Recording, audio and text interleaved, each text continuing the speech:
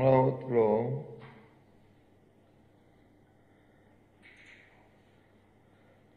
ఐదు సంవత్సరాలు అయింది శంకుస్థాపన చేశారు. దానికి వచ్చి పాదయాత్ర చేయాలి. ధర్నాలు చేస్తూ నిన్న ఈరోజు టీవీల్లోనూ పత్రికల్లోనూ తాను మీద చంద్రబాబు నాయుడు గారి వార్తలకు ఆహాలు భావాలు వార్తలకు ఆవేదన వారి మాటల్ని చూసాం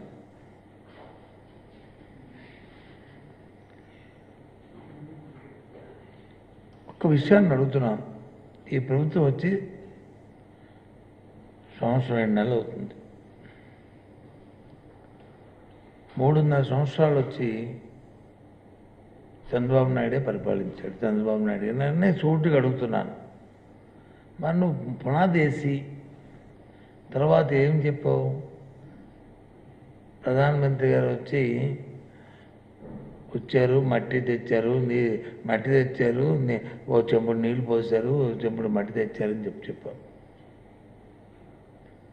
ఆ తర్వాత మూడు సంవత్సరాలు అయిపోయిన తర్వాత మీ అప్పుడు ఉన్న మీ శాసనసభ్యుడు వచ్చి అక్కడ వచ్చి ఆ పునాది రాయేసిన దగ్గర వచ్చి పశువులు తీసుకొచ్చి మేపించి ఇలా అయింది ఇలా ఉంది ఇదంతా ఏమో చేయలేదని చెప్పి చెప్పారు. పాపం ఈనాళ్ళు కానీ జ్యోతి వాళ్ళు కానీ ఆ ఫోటోలు కూడా వేస్తే బాగుండేది ఇవాళ. మూడున్నర సంవత్సరాలు పరిపాలన చేసి కరకట్టు రోడ్డు కూడా కనీసం చంద్రబాబు నాయుడు గారు వచ్చి వేయలేపాడు ఆ కట్టిన బిల్డింగ్ వచ్చి స్క్వేర్ ఫుట్కి పదివేల రూపాయలు ధర పెట్టి కట్టి అది తాత్కాలికం అని చెప్పారు. ఇవాళ వచ్చి గొగ్గలు పెట్టుకుని అంత అంటున్నారు. చంద్రబాబుని అసలు విషయం చెప్పడు. నేను ఆ రాజధానికి వచ్చి ఎంత ఎస్టిమేట్ వేశాను? ఎంత అప్పు తెచ్చాను ఎంత తీ ఎంత దోచుకు తిన్నాను ఆ విషయాలు మొత్తం చెప్పరు. మీరు చెప్తే అవన్నీ అబద్ధాలు అంటారు కోర్టులకు వెళ్తారు న్యాయస్థానం ద్వారా ఆర్డర్లు తీసుకొస్తారు. దాన్ని దాన్ని ఏమేం జరగనీకంట జరుగుతున్న విషయాలు అవి. ఇదేదో పెద్దలు చెప్తుంటారు సామెతలు ఉంటాయి. ఏదో జరగని పెళ్ళికి వచ్చి బాజా బాజారు మాత్రం వచ్చి పెట్టుకున్నారని చెప్పి చెప్తుంటారు. ఇప్పుడు చంద్రబాబు నాయుడు ఆ- ఆ తాలూకు ఆవేదన అంత ఏంటంటే వాళ్ళ బినామీలు వాళ్ళ మనుషులు అతని తాల వాళ్ళ తాలూకా పక్కాలు చుట్టాలు పక్కాలు. వాళ్ళకి వచ్చి నేను హైప్ చేసి బొమ్మలు రేట్లు పెంచి అన్నీ చేశాను. ఇప్పుడు తగ్గిపోయేవి నా బినామీలు అంత తగ్గిపోయారు. నేను చేసిన ఇన్సైడ్ ఇన్సైడ్ ట్రేడింగ్కి వచ్చే లాభం తగ్గిపోయింది అనే బాధ ఆవేదన ముఖ్యంగా అతనిలో కనిపిస్తుంది అంతా కూడా. దాంతో ఏదోదో మాట్లాడేస్తున్నాడు. అయితే నన్ను అంటాడు నా ఏమని? వైపాక మా పార్టీకి వైఎస్ఆర్ పార్టీ కాంగ్రెస్ పార్టీ మా పార్టీకి ఇదే ఆకర్షణ అంట. ఎందుకు ఆకృతి ఏంటి ఏం తప్పు చేసావు నా ఆకర్షణ నువ్వు ఒక మంచి చేసుండి ఐదు సంవత్సరాలు బాగా నీకు ఇచ్చిన అవకాశాన్ని నువ్వు వచ్చి వినియోగించుకుని ఉంటే నువ్వున్న అమరావతి నుంచి కనీసం అది ఒక యాభై శాతమైన పూర్తి చేసి కొన్ని బిల్డింగ్లైనా పూర్తి చేసి ఉంటే పోని చూసి పోని నిజమే అని అనుకున్నా అనుకోవచ్చు. ఉన్న ఐదు సంవత్సరాల్లో కనీసం ఐదు శాతం పని మాత్రం ఐదు శాతం పని కూడా చేయలేదు. కానీ ఉట్టి కేక ఊరేగి ఓ అమ్మంట ఓ స్వర్గానికి ఊరేగింది సామెత మా ఊళ్ళో చెప్తున్నట్టు ఓ ఎంతో కథ కింద చెప్పావు. లక్ష యాభై వేల కోట్ల రూపాయలు ఎస్టిమేటు ఖర్చు పెట్టింది వచ్చి ఐదు వేల కోట్ల రూపాయలు.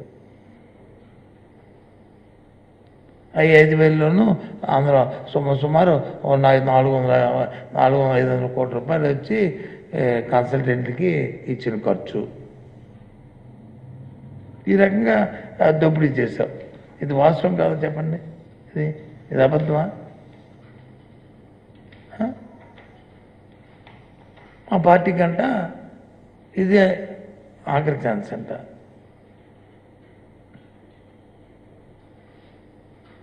ఇవాళ ఈ రాష్ట్రంలో ఉన్న ప్రజలందరూ కూడా అన్ని వర్గాలు ఒక వర్గం కాదు రైతు కాదు రైతు కూలీ కాదు. విద్యార్థి కాదు లేకపోతే వారి వారి తన కుటుంబాలు కాదు బడుగు వర్గం కాదు బలహీన వర్గం కాదు అన్ని వర్గాలు కూడా అన్ని ప్రాంతాలు కూడా వీరంతా సుఖంగా సంతోషంగా నిండా నూరేళ్ళు పది కాలాల పాటు జగన్మోహన్ రెడ్డి గారు మీదే ఉండాలని కోరుకుంటున్న నేపథ్యం. కాదని పోనీ ఎక్కడ చెప్పనండి ఈ మధ్యనే ఇది వంద రోజులు మూడు ఇది మూడు వందల రోజులు ఒకటని ఒకటి చేశాడు ఇదా రాష్ట్రం అంతా పిలిపించాడు ఎక్కడైనా స్పందన వచ్చిందా? ఎవరు ఎవరు స్పందన వచ్చింది? కళా వెంకటరావుకిను అచ్చునాయుడికి వాళ్ళిద్దరికి వచ్చింది స్పందన. తప్ప ఎవడు మాట్లాడాడు? ఆయన వచ్చి అధ్యక్షుడు ఈయన వచ్చి కాబోయే అధ్యక్షుడు ఇద్దరు మాట్లాడారు తప్ప. వాళ్ళు కాంపిటీషన్లో మాట్లాడారు తప్ప ఎవరు రోడ్డు మీదకి వచ్చి ఎవరు నీకోసం ఆవేశంగా నాకు కావాలనుకుని చెప్పిన మనుషులు లేదు ఎక్కడ పోరాటం జరిగింది? జరిగింది. ఎక్కడ జరిగింది? ఈ- ఈ ఏబిఎన్లోనూ పోరాటం. కాదా? వాస్తవం కాదా ఇది? ఇంకో ఇంకొక ఇష్యూ ఏంటంటే కొంత తెలుగుదేశం పార్టీ ఇన్సైడ్ ట్రేడింగ్ వ్యవహారం వాళ్ళ వాళ్ళ బెనామీలు వాళ్ళ వాళ్ళ తాలూకు ఆస్తులు వాళ్ళ వాళ్ళ తాలూకు ఆదాయాలు పోయేవని అక్రోశం ఇక్రోశం పాపం కమ్యూనిస్టులకి ఎందుకు వచ్చిందో నాకైతే ఇది ఎక్కడ చూడలేదు నేను ఎప్పుడు కూడా. కమ్యూనిస్ట్ అంటే పేదవాడి కోసం నిలబడతాడని ఒక నాళ్ళు ఉంది. పేదవాడి ఆకలి కోసం ఈ కమ్యూనిస్ట్ గొంతుకుతోనే మాట్లా మాట్లాడతారు. ఆ గొంతుక ఎప్పుడు కూడా పేదవాడి గురించే మాట్లాడుతుంది. వారి ఆకలి గురించి మాట్లాడుతుంది అనే ఒక పేరు ఉంది కానీ ఇక్కడ పేదవాడికి వచ్చి ఒక ఇల్లు ఇస్తే ఇల్లు పట్ట ఇస్తారంటే ఒక ఎస్సీ ఎస్టీకి ఇల్లు పట్ట ఒక బలహీనకి ఇల్లు పట్ట ఇవ్వద్దు ఇవ్వద్దని చెప్పిన కోర్టుకి వెళ్ళి స్టేట్ తీసుకొచ్చా? దానికి వచ్చి మీరు మద్దతు తిరుపుతారంటే మీరు చంద్రబాబు నాయుడిని మీరు వెనకేసుకొస్తున్నారంటే నాకు అర్థం అవ్వట్లే. ఎందుకోసం వస్తున్నారు?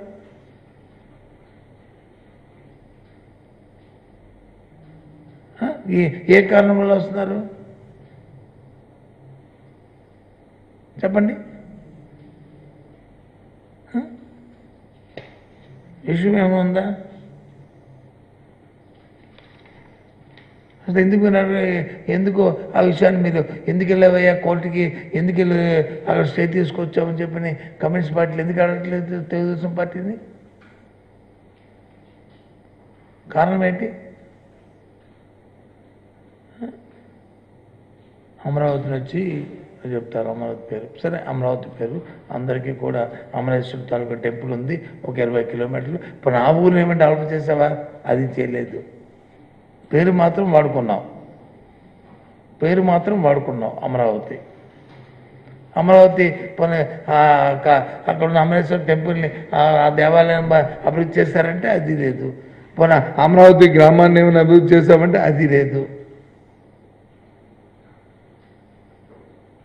పేరు మాత్రం వాడుకున్నాం ఆ బుద్ధుడి విగ్రహం లేకపోతే ఈ దీన్ని బొమ్మలను చూపెడతారు పోనీ అవి ఎవరు కట్టారా అంటే?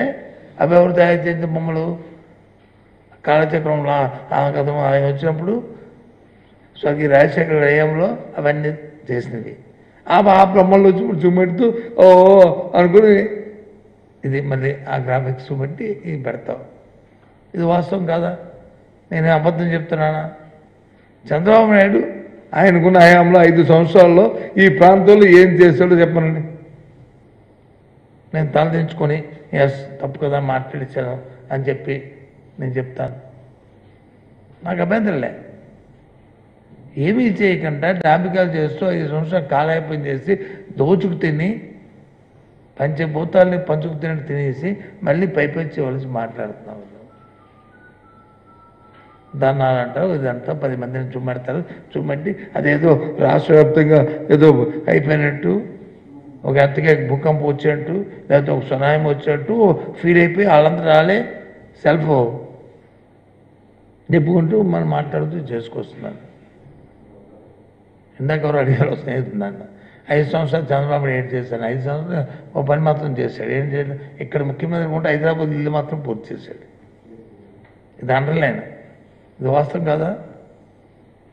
ఐదు సంవత్సరాలు ఇక్కడున్న సెక్రటరియట్ నువ్వు కట్టలేకపోవు. ఇక్కడున్న పేదవాడికి ఒక ఇల్లు కట్టలేకపోవు. ఇక్కడున్న ఒక ఒక బిల్డింగ్ కట్టలేకపోవు. కానీ నీ ఇల్లు మాత్రం ఐదు సంవత్సరాల్లో ఈ ఈ రాష్ట్ర ప్రధాని ద్వారా దోచుకున్న డబ్బుతో హైదరాబాద్ నువ్వు ఇల్లు కట్టుకున్నావు. ఇది నిజం కాదా ఇది? ఇది వాస్తవం కాదా?